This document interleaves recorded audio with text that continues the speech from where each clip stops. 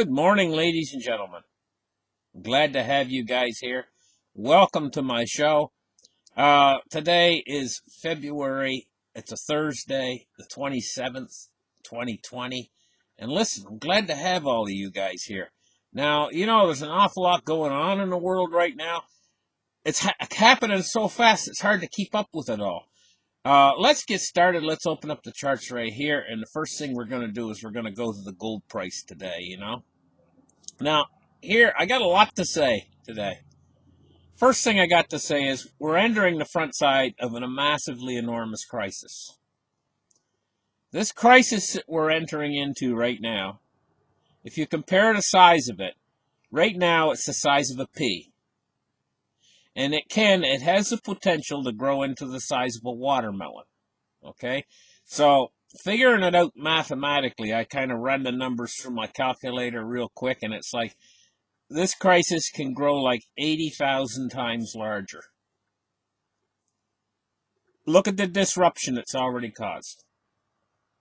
It can grow 80,000 times more bigger than it is right now and affect the world with that much more disruption.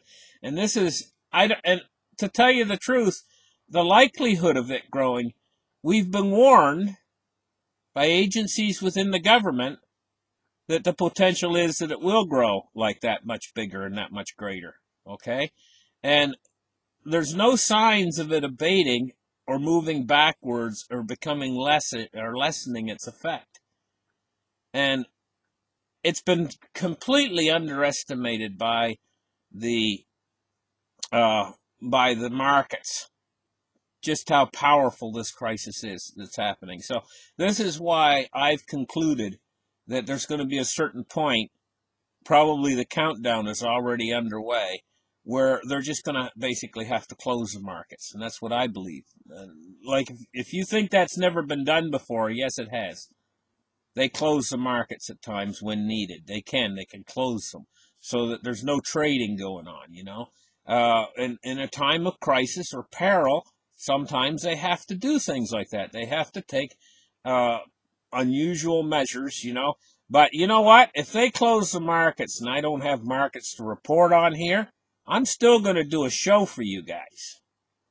Now, I can't guarantee you what exactly what kind of a show it's going to be it might be a show where where I'm not got a screen here and a green screen and stuff. I might be a, a more of a real life kind of show, you know. Uh, as long as I got power, electricity, I'm going to be doing a show for you guys. As long as I got internet, I'm going to be doing a show for you guys. Now, I want to talk about something important here. The government, this is very important. The government has to take a supportive role, a very specific type of supportive role. And one of the really the things that they they're going to need to do is ensure that food distribution doesn't get cut off. They're going to have to. It's it, and no matter what it takes. You know how they've done whatever it takes in the financial system. Well, if the markets are closed, they're not going to need to worry about the financial system so much. You know, just just print up a lot more money and dump it in there. And that should take care of the financial system. You know, if they dump enough. I mean, just go ahead and hyperinflate the dollar. Just go ahead and, and print whatever they need to print, you know, and, and just do it. Do it. Support support the, the, the core system. Because the outer fringes of the financial system is probably what we're going into is massive you know, and and so they need the support so that food production doesn't get cut off, especially to these big cities. Because, uh, you know, I mean, okay, it just should be. I shouldn't really have to explain it to you guys why you don't cut food off to a big city. Because people need food in order to live. It's just a very simple, basic necessity of life. You know, so that, this is important. This is important. But let's move on. Take a look at gold today. Look, gold's up $14.40. It's the only thing that's up other than U.S. Treasury bonds. So there's two things right now that are up. U.S. Treasury bonds and gold.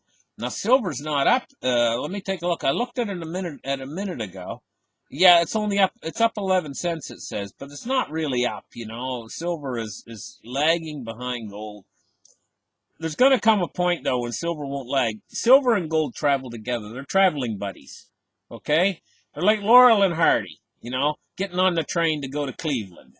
You know, I mean, you're going to see Laurel stick with Hardy you know, on the train to Cleveland. He's not gonna. He's you're not. If you want to find Laurel, find Hardy, and you'll find Laurel. Well, that's the way with gold. Gold's Hardy, and silver's Laurel, and the two of them travel together. They're traveling buddies.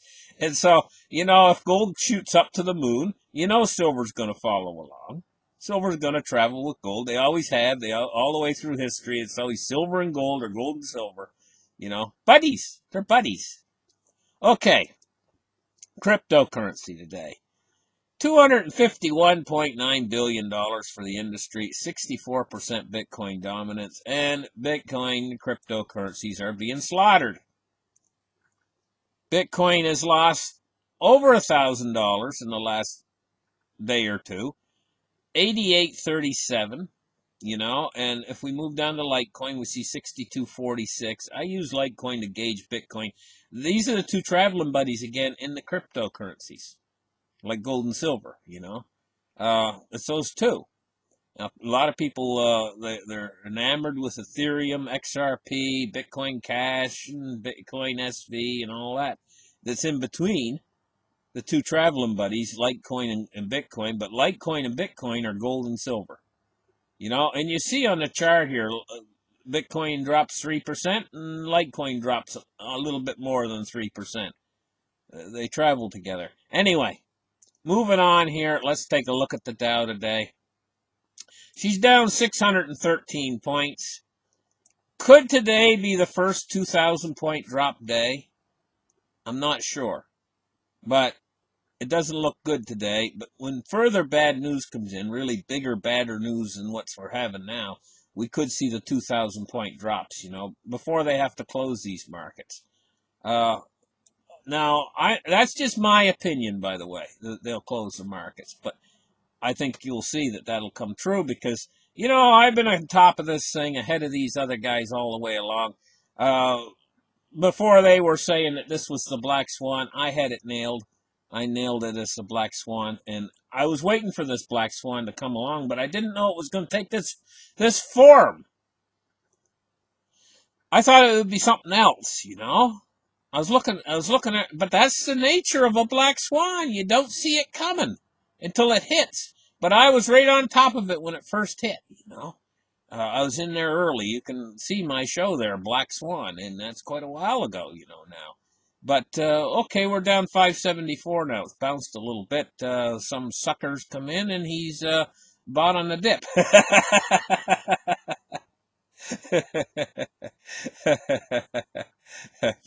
okay, guys, let's move on. Uh, we're 26,410 on the Dow and uh, declining.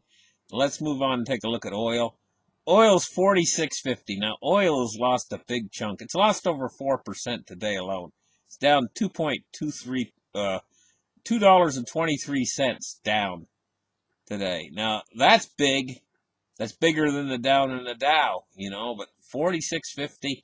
Oil producers, you know, oil's not going to drop too low because I'll tell you what'll happen is with oil.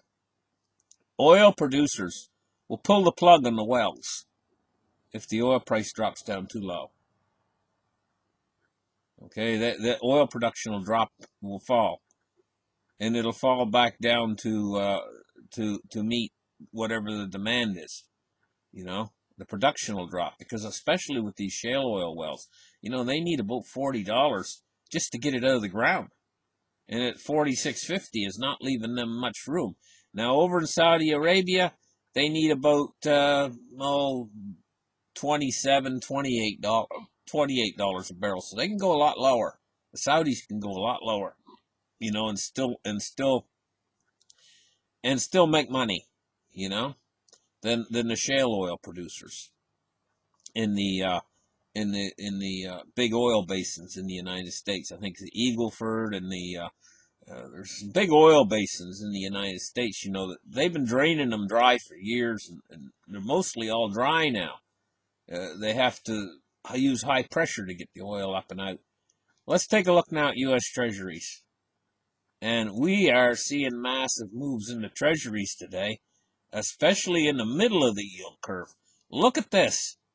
The U.S. one year, over a full basis point. point one almost it's it's 12 basis points. It's it's 12 basis points is what it basically is.